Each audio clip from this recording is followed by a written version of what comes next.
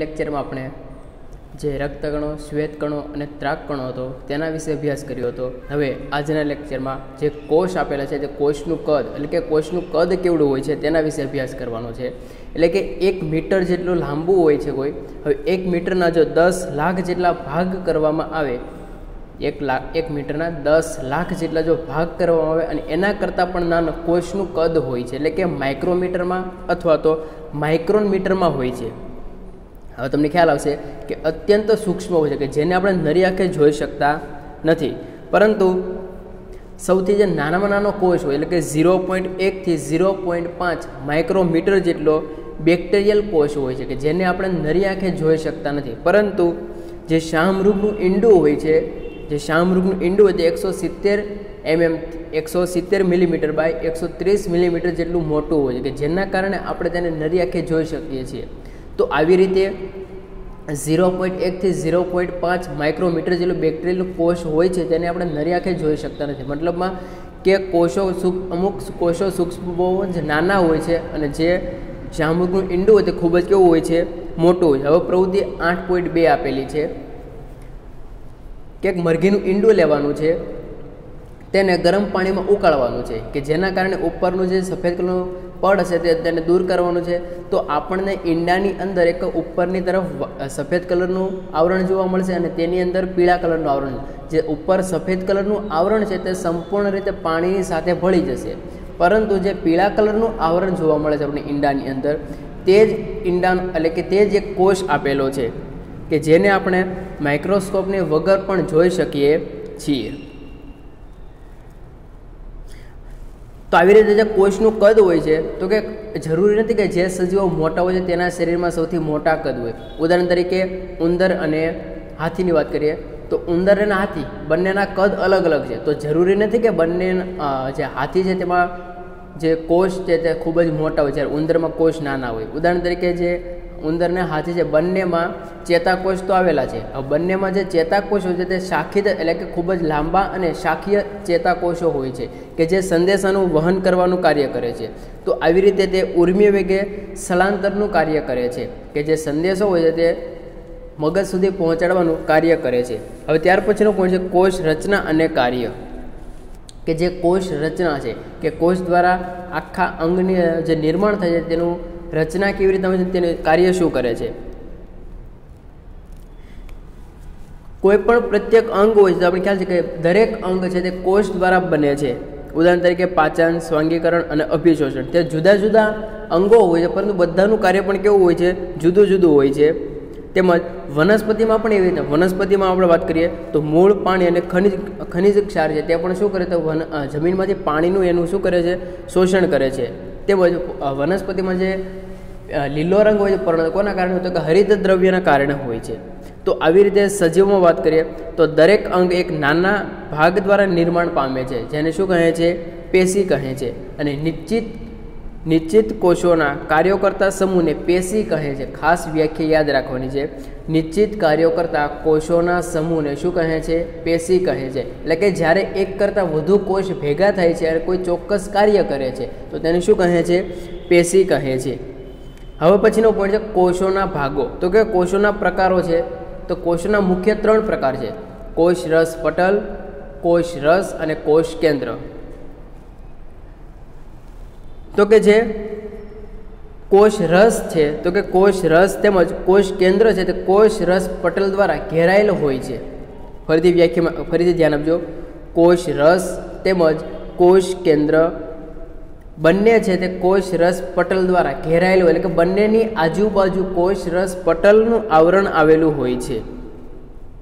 કે જે કોઈ ઘેરાયેલા દ્રવ્યોના પદાર્થ એને શું કરે છે તો કે અલગ રાખે છે. કે જ્યારે પણ શરીરની અંદર કોઈ પદાર્થો દાખલ થાય છે, ત્યારે સૌ પ્રથમ કોષ રસ પટલમાં દાખલ થાય છે.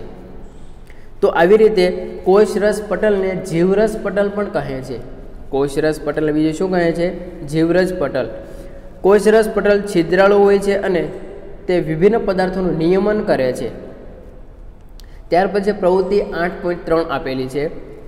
તો કે કોઈ એક સુકાયેલી ડુંગળી લેવાની છે, તેના ઉપરની જે છાલ અથવા જે ફોતરીઓ છે તેને દૂર કરવાની છે, જ્યારે અંદરનું જે આવરણ આવે તેને ચીપિયાની મદદથી અથવા તો હાથની મદદથી તેની ઉપરની સપાટીમાં રહેલી એક સ્લાઇડ જોવા મળશે, તેને ખેંચવાની છે અને તેને કોઈ સ્લાઇડ ઉપર મૂકવાની છે. ત્યાર પછી તેમાં પાણી અને મિથિલિન બ્લુ વડે તેને અંભી, અભિરંજિત કરવાનું છે.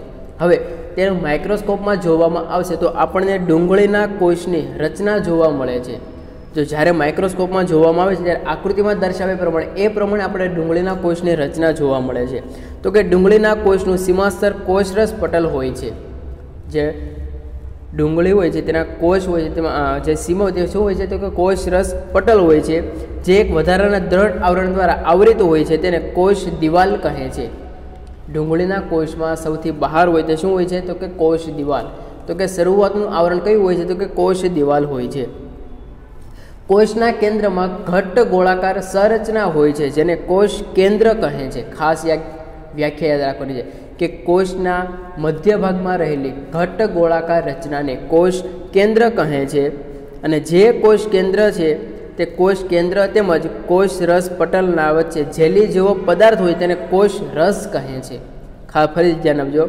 કોષ રસ તેમજ કોષ રસ પટલના વચ્ચે જેલી જેવો પદાર્થ હોય છે, કોષ કેન્દ્ર આકૃતિમાં આકૃતિમાં જોતા રહેજો. કોષ કેન્દ્ર તેમજ કોષ રસ પટલના વચ્ચે જેલી જેવો પદાર્થ હોય તેને શું કહે છે? તો કોષ રસ કહે છે. તો આપણે એ પ્રશ્ન થશે કે જે કોષ દિવાલ છે તે શા માટે વનસ્પતિઓમાં જ આવેલી હોય છે? કારણ કે જે કોષ દિવાલ હોય છે તે કોષ દિવાલ માત્ર ને માત્ર પ્રાણીમાં બાહ્ય આવરણ સ્વરૂપે કોષ દિવાલ આવે, આવેલી હોય છે. કારણ કે જે વનસ્પતિના કોષો હોય છે વનસ્પતિના કોષોને તાપમાન, ઝડપથી ગતિ કરતી હવા તેમજ વાતાવરણીય ભેજ વગેરે જેવા પરિબળોથી રક્ષણ આપવા માટે કોષ દિવાલ આવેલી હોય છે. કારણ કે આપણે ખ્યાલ છે કે પ્રાણીઓ છે તે એક સ્થાનથી બીજા સ્થાને પોતે જઈ શકે છે, જેના કારણે પોતાના શરીરનું પોતે જાતે રક્ષણ કરી શકે. પરંતુ જે વનસ્પતિઓ હોય છે તે વનસ્પતિઓ પોતે સ્થિર હોય છે, કે જેના કારણે તે વહન કરી શકતી નથી એટલા માટે તેને કોષ દિવાલ તેમના શરીરમાં આવેલું હોય છે. પછી પ્રવૃત્તિ આપેલી છે, પ્રવૃત્તિ આઠ પોઈન્ટ ચાર.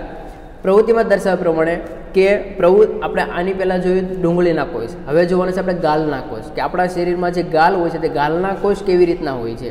તો એના માટે કોઈ દિવાસળી હોય છે, તો દિવાસળીનો જે આગળનો ભાગ હોય છે, કે જ્યાંથી દિવાસળી પ્રગટે છે, તે ભાગને કાપીને દૂર કરવાનો છે અને વચ્ચેનો જે દિવાસળીવાળો ભાગ છે, એટલે કે લાકડી, લાકડાવાળો ભાગ છે, તેના કોઈ એક ભાગને આપણા મોંની અંદર જે ગાલ હોય છે, તે ગાલના ભાગમાં ઉપરથી થોડુંક ખેંચવું, એટલે કે ત્યાં ખેંચવાની છે.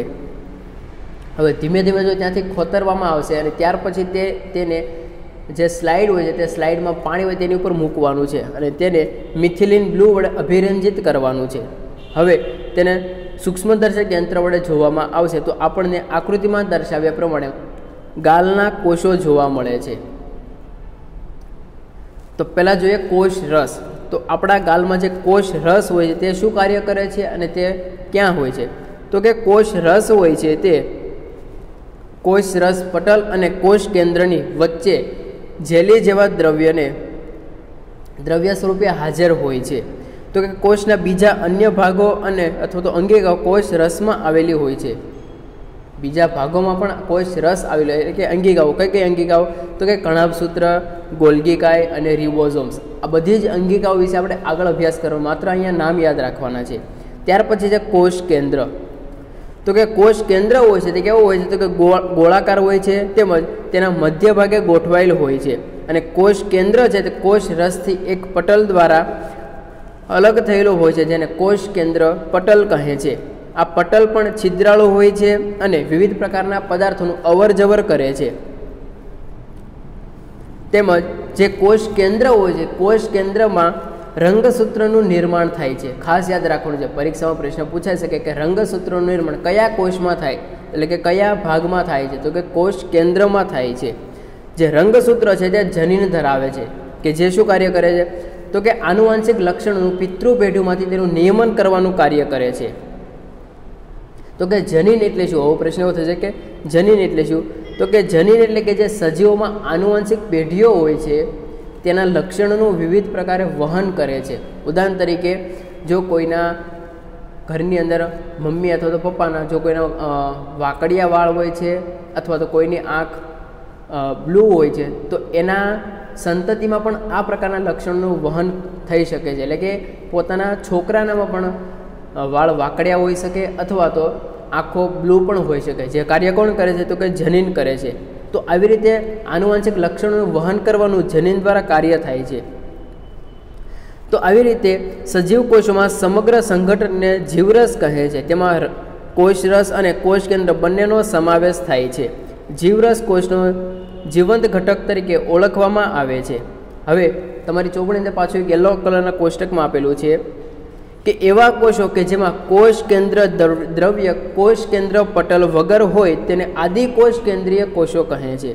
ફરીથી ધ્યાન આપજો કે એવા કોષો કે જેમાં કોષ કેન્દ્ર દ્રવ્ય કોષ રસ પટ, કોષ દ્રવ્ય પટલ વગર હોય તેને શું કહે છે? તો કે આદિ કોષ કેન્દ્રીય.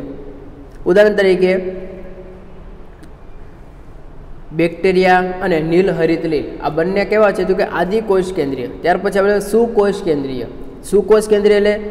કે જે ડુંગળીના કોષો અથવા તો જે ગાલના કોષો હોય છે, કે તેની અંદર કોષ કેન્દ્ર પટલ, કોષ કેન્દ્ર પટલયુક્ત કોષો હાજર હોય છે. તેને શું કહે? સુકોષ કેન્દ્રીય કહે છે. અને ઉદાહરણ શું છે? કે ગાલના કોષો અને ડુંગળીના કોષો. તો આવી રીતે જે ગાલના ડુંગળીના કોષો અને વનસ્પતિના કોષો છે તેમાં જોઈએ. તો કે આપણે જ્યારે માઇક્રોસ્કોપમાં ડુંગળીના કોષો જોઈએ ત્યારે વચ્ચે આપણે જગ્યાઓ જોવા મળે તેને શું કહે છે? તો કે રસધાની કહે છે. તો કે ડુંગળીના કોષની અંદર મોટી રસધાનીઓ હોય છે. જ્યારે ગાલના કોષની અંદર નાની રસધાનીઓ આવેલી હોય છે. તો આવી રીતે મોટી રસધાનીઓ સામાન્ય રીતે વનસ્પતિઓ કોષોમાં જ જોવા મળે છે. તેમજ પ્રાણીજ કોષમાં અત્યંત નાની રસધાની જોવા મળે છે.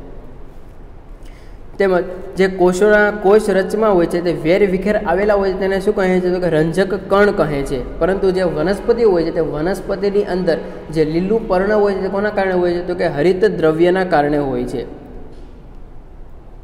અને ત્યાર પછીનો પોઈન્ટ છે કે વનસ્પતિ કોષ અને પ્રાણી કોષની તુલના. કે આકૃતિમાં દર્શાવવામાં બે કોષો આપેલા છે, વનસ્પતિ કોષ અને પ્રાણી કોષ. તો બંનેનો એક્ઝામમાં તફાવત પણ પૂછાઈ શકે કે વનસ્પતિ કોષ અને પ્રાણી કોષ એટલે શું? બંનેનો તફાવત આપો. અને નીચે કોષ્ટક આપેલું છે કે વનસ્પતિ કોષમાં કયા કોષ રસ, પટેલ હાજર, એટલે કે કયા ભાગો હાજર છે અને પ્રાણી કોષમાં કયા ભાગો ગેરહાજર છે. બંને આખું કોષ્ટક તમારે જાતે લખવાનું છે. તેમજ હોમવર્કમાં ચેપ્ટર નંબર આઠનું સ્વાધ્યાય લખવાનું છે. ચાલો મિત્રો, આજના લેક્ચરમાં અહીંયા સુધી